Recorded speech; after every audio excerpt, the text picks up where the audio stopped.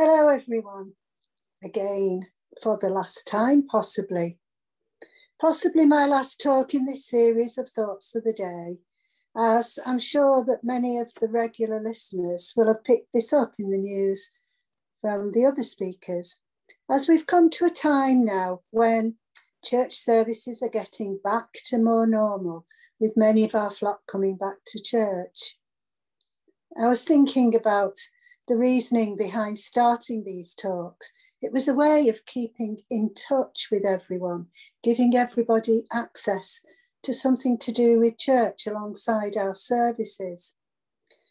Well, at first we had lots of views on these YouTube talks, but I think the numbers are going down now. But I was really pleased at first because I heard from many friends and family abroad who tuned in. But as time went on, they stopped listening as well. I also thought that we were only able to keep in touch with the people who had the wherewithal, the computers, the iPads, the smartphones, and TVs. And I was so sad that many of St. James' congregation couldn't access the talks. But we are getting back to normal. And thank goodness that we are accessing church again.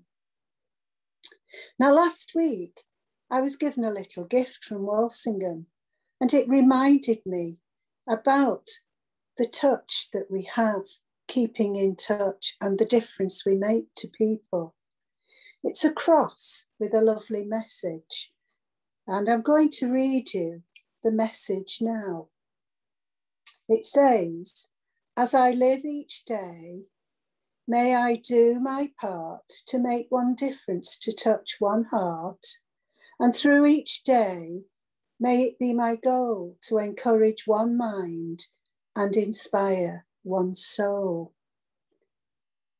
I suppose most of us, especially those of us in ministry roles, we hope that this happens all the time. Because whatever we do in the name of Jesus Christ, we try to follow in Jesus' footsteps, trusting in that whatever we do in his name will reach someone in some way that makes a difference to their lives, their feelings, perhaps their well being. But most of all, to bring to know and love Christ as we do. It's our faith that inspires and encourages us to share with uh, share it with others. We meet in our everyday life many people, and it's not always easy to touch everyone. When I think of those other Christians in the past who we consider to, to be true Christians, such as, say, Mother Teresa, I'm inspired and I'm proud to share what my faith is and what it means in my life. Mother Teresa had nothing, no worldly goods. I believe all she had was a bucket, and she felt that was enough for her to carry around with her. She had no belongings. All she needed was her faithfulness, which is why she said this I am not to be successful, but to be faithful. Just think of how her simple life, but her strong faith, touched millions of people. And she touched hearts and minds and souls. Faithfulness is a fruit of the Holy Spirit, and it is praised in the lives of Bible greats like Abraham, like Joseph, Moses, and Daniel. Jesus placed faithfulness up there alongside justice and mercy. We read about that in Matthew 23. But faithfulness is nothing without love.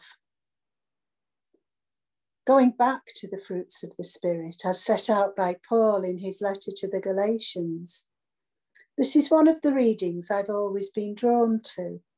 It was the text I used for my first sermon after my licensing service.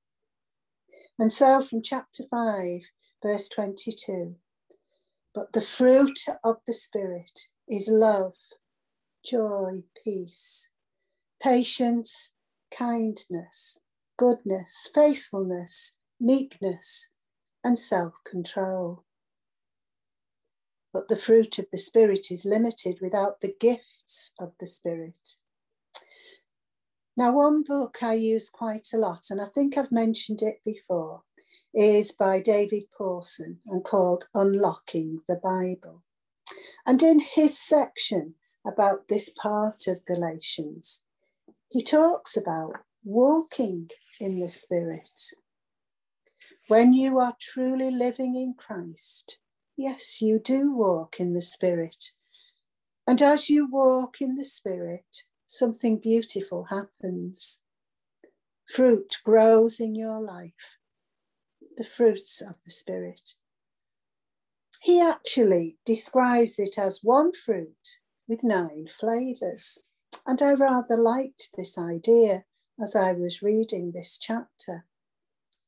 And he goes on to, to describe a Christian. He says, You find all nine flavours in a committed Christian. Some unbelievers may have some of the flavours. For example, some will have joy, others have peace. But you will never see all nine together except in Christ and in those who are filled by the Spirit and walking with the Spirit. He says the nine flavors relate you to God, to other people, and to yourself. So the first three of those flavors love, joy, and peace. He says they bring you into perfect harmony with God. And I think that speaks for itself, doesn't it? Love, joy, and peace. They are the, the fruits that we talk about all the time. The next three, patience, kindness, and goodness, they bring you into harmony with other people. And yes, thinking about those, they are the ones that perhaps touch somebody's spirit too. And then faithfulness, meekness, and self control bring you into a good relationship with yourself. And Paul says later on, he says in Galatians that as you walk in the Spirit, the fruit grows. And there's probably two kinds of walking walking by ourselves, but also walking in step with our brothers and sisters. And yes, we do need both. And that can only be good, can't it? If you think about it, much of our time is spent with Christ on our own in prayer or devotions or in our readings. The Spirit moves us and inspires us, and the fruits grow. And if you like, putting it in layman's terms, our batteries are recharged. But when we walk with others, with the Spirit, well, yes, something beautiful does happen. Others are touched by God, and it's so good to be part of that. If we can be the catalyst or the facilitator, or perhaps God simply working his purpose out in us.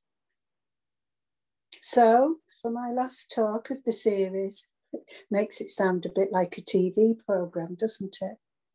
I leave you with a thought.